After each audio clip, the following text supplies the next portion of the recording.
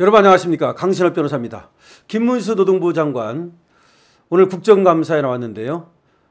야당 의원들의 사과 요구를 거부했습니다. 지금 야당 의원들이 김문수 장관한테 사과라고 하는 이유는 뭡니까? 김문수 장관이 소신 발언한 걸 가지고 계속 트집을 잡는 겁니다. 인사청문회 때 일제 시대 때 이 조선 사람들, 그러니까 대한민국 사람들의 국적은 없었다. 그때 국적은 일본 국적이었다. 이렇게 얘기했는데 일본 국적이었다고 그랬다고 그걸 가지고 계속해서 저렇게 내피셜을 일으키면서 오늘 어떤 일이 있었냐면은 김문수 장관이 국회 가니까 이제 국회의원들에게 야당 의원들에게 악수를 청했습니다. 그랬더니 악수조차 안 합니다. 무슨 김문수가 뭐 음? 악귀입니까? 악수도 안 하게? 근데 그러면서 저번에 일제 시대 때 그 대한민국 사람들의 국적이 일본 국적이었다고 말하지 않았느냐? 그거에 대해서 사과하라. 또 그렇게 말한 겁니다. 자, 그랬더니 말이죠. 매우 가슴 아프지만 일제시대 국적 발언과 관련해서 사과할 수 없다. 역사적인 기록에 대한민국 국적은 없다 라고 분명히 되어 있지 않느냐. 이러니까 또 야당 의원들은 맨날 하는 그 전가의 보도 퇴장하라 떠들어댔습니다. 김문수 장관이 오늘 오전 국회 환경노동위원회에 국정감사에 출석을 했는데요. 여기에서 이렇게 말했습니다. 일제시대 국적 문제는 매우 복잡한 문제다. 국정감사나 인사청문회 때 짧은 시간 안에 그 정답을 드릴 수가 없다. 근데 김무수 장관은 지난 8월 26일에 인사청문회 때 이런 얘기를 했습니다. 일제시대 때 우리 국적은 일본이었다. 청문회가 결국 파행이 됐죠. 그리고 그 후에 말이죠. 9월 9일 날 환노위 전체회의에서 이때 인사청문회 때 한 얘기에 대해서 사과하라! 라고 또 야당 의원들이 얘기했습니다. 근데 사과 안 했습니다. 그래가지고 퇴장당했습니다. 그런데 오늘도 또 사과하라! 그러면서 또 악수도 거부하고 그랬는데 또 사과를 거부했습니다. 그러면서 김문수 장관은 분명히 했습니다. 당시 우리 국민들이 해외 나갈 때 여러 부분에서 국적이 명기될 수밖에 없는데 일본 제국의 여권 이렇게 써 있었고 또 당시 우리나라와 맺은 조약이라든가 또는 일본의 법률이라든가 조선 총독부 재령을 보면 그 어느 곳에서도 대한민국의 국적이라고 적시된 부분이 없다. 이것이 현실 아니냐라고 얘기를 했습니다.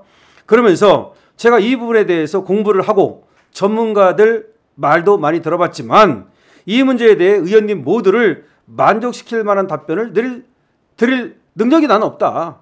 이 문제는 매우 복잡한 문제니까 차후에 그러면 국회 차원에서 조사하고 연구하고 공청회를 진행하고 그렇게 해서 결론을 내라.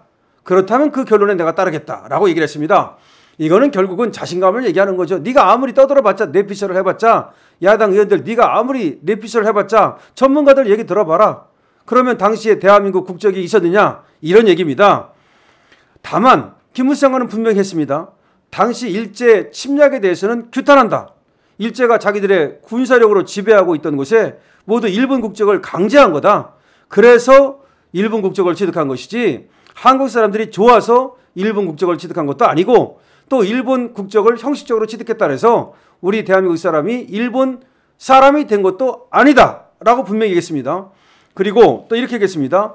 의원님들은 김문수가 민족 정신이 없는 사람이다 이렇게 생각하는 모양인데 우려하실 필요 없다. 저는 오히려 학교 다닐 때 민족주의 얘기하다가 제적을 당한 사람이다. 그때 사회주의 운동하고 말이죠. 어떻게 보면 김문수가 저쪽 아니었습니까?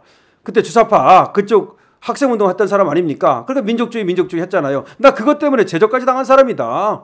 내가 민족성이 없다고 얘기하는지 모르는데 민족 정신이 없다고 얘기하는지 모르는데 내가 오히려 민족 정신하면 나다. 내가 왜 일본 편을 들겠느냐? 사실을 사실대로 얘기하는 것뿐 아니자. 아 좋습니다. 이러니까 김문수의 지지율이 그냥 팍팍팍팍 뛰어오르고 있습니다. 지금 국힘의 다음 대권 주자는 김문수가 확실합니다. 김문수는 그 누구하고도 엮이지 않았습니다.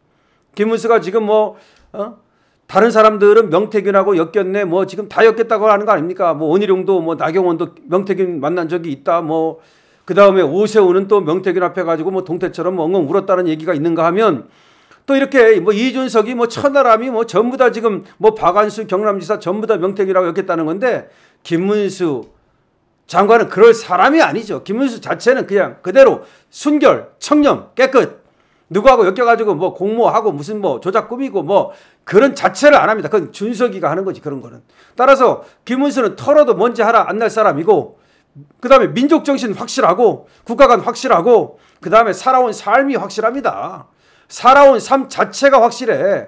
삼선 의원 했고 그 다음에 경기도지사 두 번 했고 그 다음에 경제 노사정위원회 이것도 했고 그 다음에 이번 지금 장관하고 그러는 동안에 재산을 축적한 것도 없어요. 봉천동에 뭐 빌라 산대요 20평짜리 제가 뭐 본 건 아닙니다만은 많은 사람들이 그렇게 얘기하니까 재산이 없는 것도 맞고 그 다음에 청렴하고 그 다음에 또 젊어서 뭐 했습니까? 학생 운동하고 노동 운동 했잖아요. 노동 운동도 가짜 노동 운동 한 거 아니에요. 정말 공장에 가서 일하고 아주 정말로 이 노동을 위해서 이 탄압받고 말이죠. 그 그때는 말이죠. 노동 환경이 굉장히 열악했잖아요. 정말로. 막 그냥 노예처럼 부려먹고 뭐 그런 게 많았지 않습니까?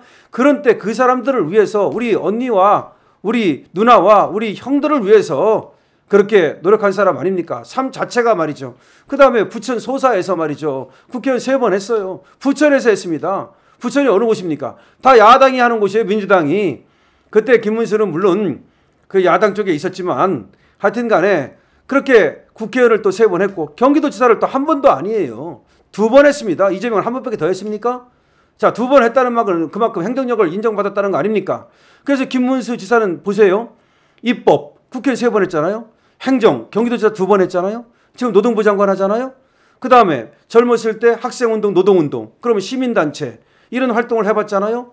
안 해본 게 뭐가 있습니까? 물론 사법부만 안 해본 건데 사법부야 뭐 당연히 판검사를 할 수는 없는 거니까 그렇지만 김문수 지사는 말이죠 깜빵도 다녀오고 법 공부도 할 만큼 했어요. 깜빵 한번 다녀오면 다 법이 뭔지 알게 됩니다. 그 다음에 노동운동하고 학생운동 할 때, 그 다음에 경기도 지사하고 할 때, 국회의원 하면서 아, 법 만드는 일을 했잖아요. 그렇기 때문에 어떻게 보면 입법, 행정, 뭐 사법의 주은 사법까지는 확실히 이거를 체험하고 스스로 해본 사람입니다.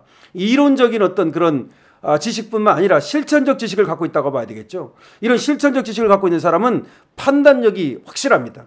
그렇기 때문에 이 김은수 지사가 실제로 해보니까 아 주사파는 이건 아니다. 아, 지금 저 김일성 이 얘기하는 저 아, 주체사상이라는 거 저건 다 거짓말이구나. 자기 어떤 일당 독재를 지배를 하기 위한 그래서 인민들을 갖다가 지금 압제하고 그리고 또 탄압하는 그런 어떤 하나의 교조주의적 그런 논리에 지나지 않는다는 것을 알고서 전향한 거 아닙니까?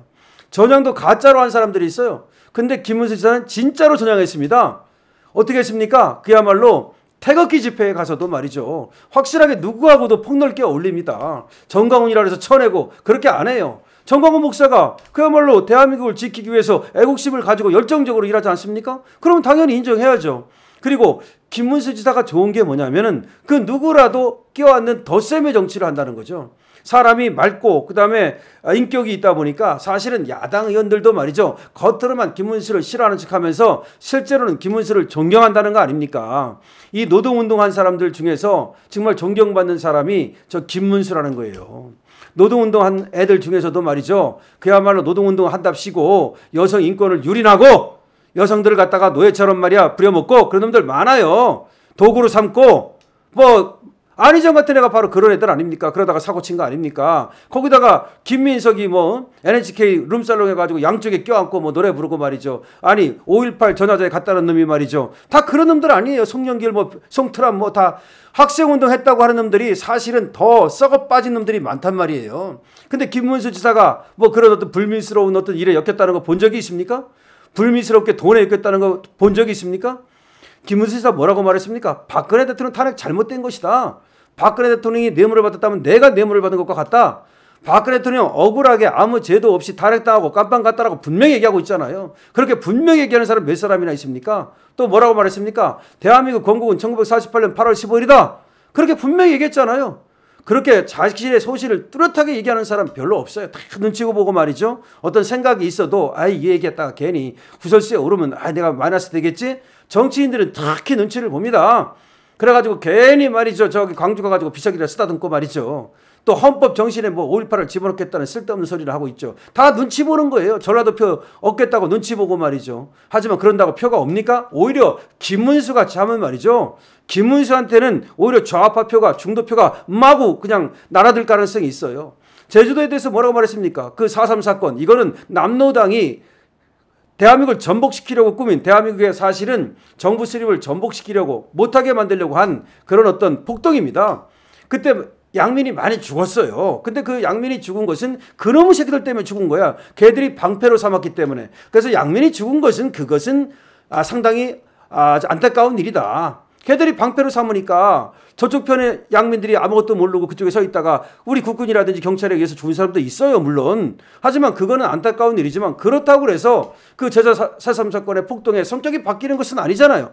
이와 같이 확실한 소신 그리고 능력 어, 그리고 청렴함 이 모든 것을 갖춘 사람 오늘도 국정감사 가서 확실하게 소신을 밝힌 사람 김문수가 대권 갑니다. 김문수 다음 대통령 됩니다. 강수엽 TV입니다.